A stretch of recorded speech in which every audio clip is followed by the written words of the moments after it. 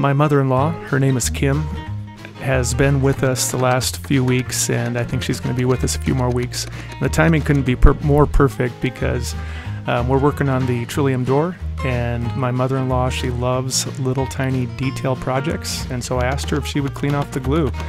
And she got into the project, and about an hour after she was into it, she thanked me and she said she was having a great time. So I'm very grateful, and it's looking really good. I removed the refrigerator and it wasn't that difficult. There were two screws in the back, there were two screws in the front, and there was a piece of plywood right here that the refrigerator sat on top of. Um, so I removed those four screws. Um, I cut these two wires. Uh, these were connected, of course, to the back of the refrigerator and they were just wired right in. I could, there was nothing to unscrew, so I just had to clip them. Um, I had to disconnect the propane and I decided just to cut it right off because I'm actually going to be eliminating that propane line um, as we're going to do a 12 volt cooler in here instead. And there was this surround on the back of the refrigerator. It wasn't screwed to this at all. Um, I think it looks like this was at one time double stick taped, um, maybe glued to the back of the, the back wall here. And um, but it just came out as soon as I as soon as I disconnected the um, the propane and the um, the electrical that came through those two wires. I guess this would have sat like this. And then I also had to, yeah. So here's the propane came through here. I think electricity came through here, and then there was that 110 plug that came through there. I tried to save that. I'm not sure what I'm going to do with that yet. So once I had those screws removed, and those lines cut, it just it pulled right out. It took some a little it took a little encouragement from the back pushing on it. And those back panels, by the way, I just used a drill and drilled out the rivets, and those came out pretty easy too. My friend Matt came over to help me out, and uh, he helped me specifically with removing all of the windows from the Trillium. And I think it took us a couple of hours.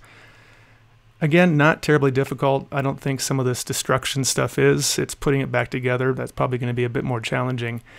And uh, first thing we'd had to do is pull off the black screw cover, plastic screw, screw covers. And some of that was pretty well glued on with caulking and glue and layers and years of stuff. And just as we were getting to the back window, some friends dropped by. So I want you to take a moment to meet them. All right. So Matt and I were working on taking out the windows of a Trillium, uh-huh. as you saw. And then our good friends at Chez Delphine stopped Woo-hoo! and brought us some what? Crepe. Crepe. Say it the right way, okay? Eh, crepe. Now, now, most of the people that know about Trilliums are actually Canadian. Oh. So many of them speak French. Okay, that's good. So can you tell them that these are the best crepes? Yes, they are. Vive le Québec libre. Too bad you cannot enjoy this delicacy. He speak French. Oh, yes, say something in French. I mean, this uh, is a French. Je suis venue apporter des crêpes à mes amis et euh, ça me fait très plaisir de partager ces petites gourmandises avec eux. Les meilleures crêpes du monde. Et mon mari en a chippé une alors qu'il aurait pas dû parce que c'était pour leur famille, mais tant pis, c'est comme ça. J'ai encore de rêve, donc c'est pas grave. donc euh, voilà, so, à bientôt. All right, so now for those who are watching anywhere near Boulder, Colorado, which is where we're located, how do they? What did you just say? You, you got to translate and talk about Chez Delphine and. If you want to go on a camping camping trip and you just want to have some yummy food, just go to Chez Delphine and you can go to uh, Sweet. I'll put the link in the description. But we'll put that in the description. Yeah, we'll, we'll put that in the description. but you will have 20 products to choose from. So a lot of yummy things, fresh, made from scratch by a French lady. And I want to say to the millions of viewers out there who uh, I know that since you've been watching Paul, you all want to do the one thing. And since I'm here, I'm going to do it for you. I'm going to touch his luscious oh, hair. Oh, come on, stop it. That's for you. Okay, no more. There we go. See? It's, ama- it's even better in, in live.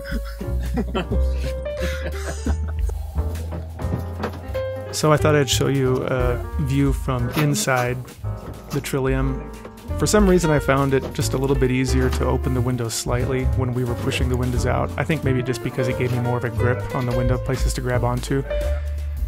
And really, there wasn't any glue holding in the window. It was, I mean, you know what I mean. It was, it was all on the outside, and it was the screws. And so once the screws were, were, were removed, and the kitchen window had some rivets on it, but once the rivets and once the screws were removed, and we peeled away the caulking as much as we could, then it was just a matter of pushing the window out.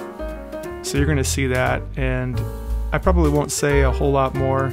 If you have any questions, you feel feel free to ask in the comments but hopefully that just by watching this you can get a pretty good idea of what we did and how the project went.